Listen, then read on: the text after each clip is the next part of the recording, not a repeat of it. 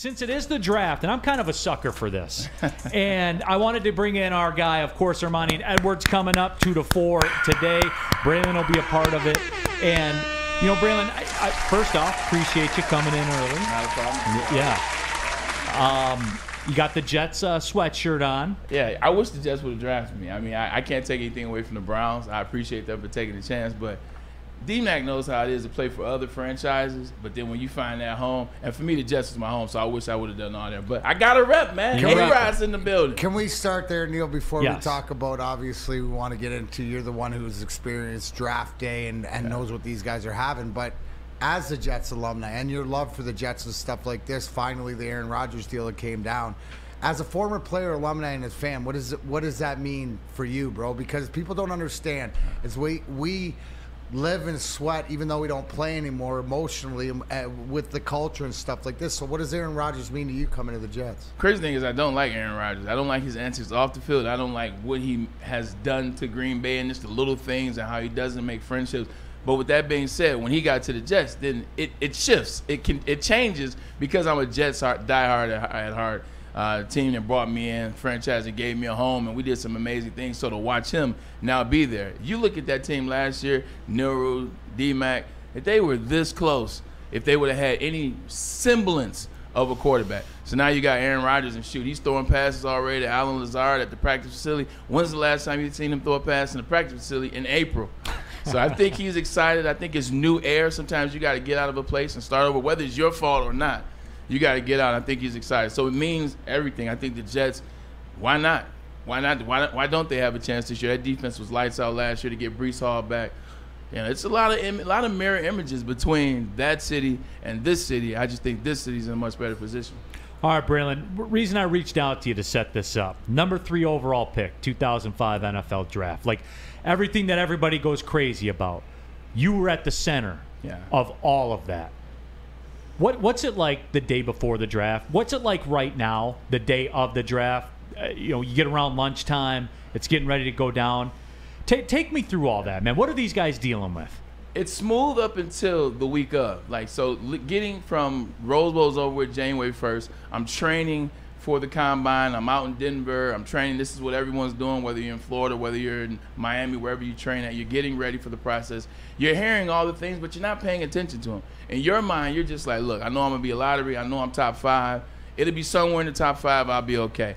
You know, as it gets closer, you start to hear more things. You start to doubt yourself a little bit. Like, dang, I wonder if that. So, so, so you hear like Yeah. when, you, when the scouts are on Locked in there everything. and they're like, well, you know, I, I don't know about Braylon Edwards. Does it translate? Is he just a guy that's bigger than everybody else in college? That he won't be bigger than everybody in the NFL? So you hear that. 100%. So anyone that says that they don't, they're full of They're shit. lying. They're full Okay. of it. They're full of you know what. Yeah. And this is before the phones were so connected to social, to so connected to the internet and ESPN. This is I had to go home and go to a hard top, or I had to go to a desktop and say, "What's going on? What is, what is Ty, what, And this is before Tommy say. What is Kiper saying? If Kiper's telling the, the masses that he believes Mike Williams is a better receiver than me, that affects me because now I know the masses are listening. So I think it begins to be this roller coaster. Wrong. Well, I, I appreciate you, brother. Number 10 to the Detroit Lions in 05. But it begins to be this roller coaster. But when you get there, when you get to that week, everything bothers you. Everything is nervous. Every little thing you heard, oh man, I heard they like Will Levis and not me. Oh shoot, I heard it's Bryce Young. It's not me. I heard that Anthony Richardson is the future. They're talking about what he can be.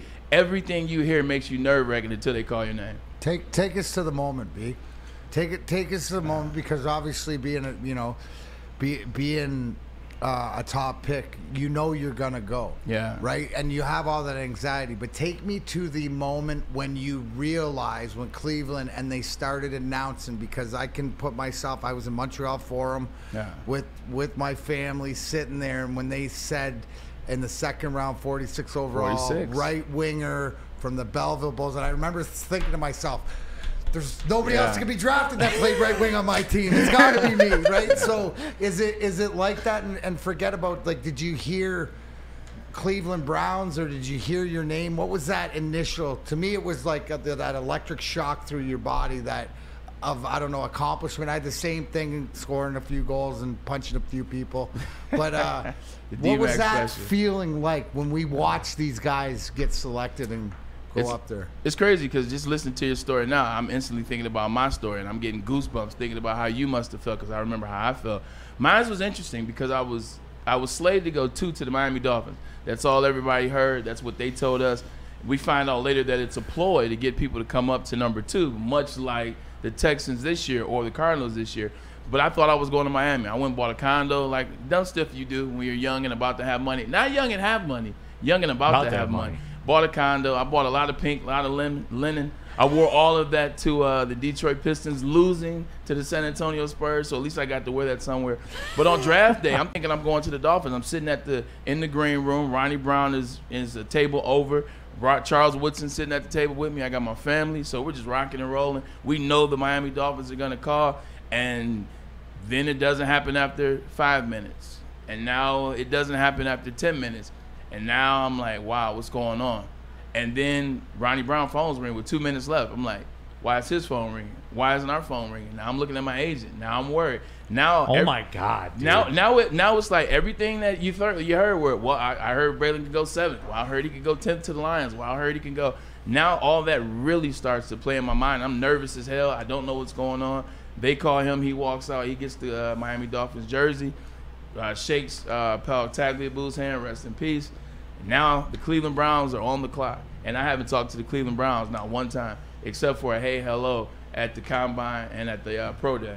But no extra meetings, and and then that clock ticks down. Romeo Crennel calls the phone at like three minutes, and he says, "Well, Braylon, how you doing there? Would you like to be a Cleveland Brown?" I was like, "Look, I'd be anything at this point." And then the whole shit. I, that's how he talks. That's how that's how Rack talks. But it's the electricity of your childhood, the electricity of the dream that was to play in the NHL for you, that was to play in the NFL for me. You know, the dream to be like my pops who got drafted in the third round. All that goes into your mind, like once Paul Tagliabue starts, and with the third pick, I'm getting goosebumps thinking about it right now. It's like this electricity ride of all the in the backyard. And there's five seconds left on the clock. Steve Young throws it up to Jerry Rice. Yeah. That was my backyard childhood. So it was to this day, man. I get choked up thinking about it. So Yeah. you knew, because the phone call came in before Yeah. the nation knew. So you. so I got. To, I knew before the So uh, before pick. you Yeah. got, did you go to get the jersey and? I did. I got pictures. I went up there. I had the most people ever on stage back at that time. Like I had 25 people on stage. So you invented the entourage. I did. I'm All from right. Detroit. You invented the entourage. Man, you know how many people from Detroit were better than me that didn't make it? You know how many stories I saw like that? So one of the big things for me was bringing everybody from Detroit that had a part to do it, whether it was my football coach, whether it was my you know, my uncles, my grandmothers, my little brothers, my cousins. I want to bring everybody from the city with me, so we would deep.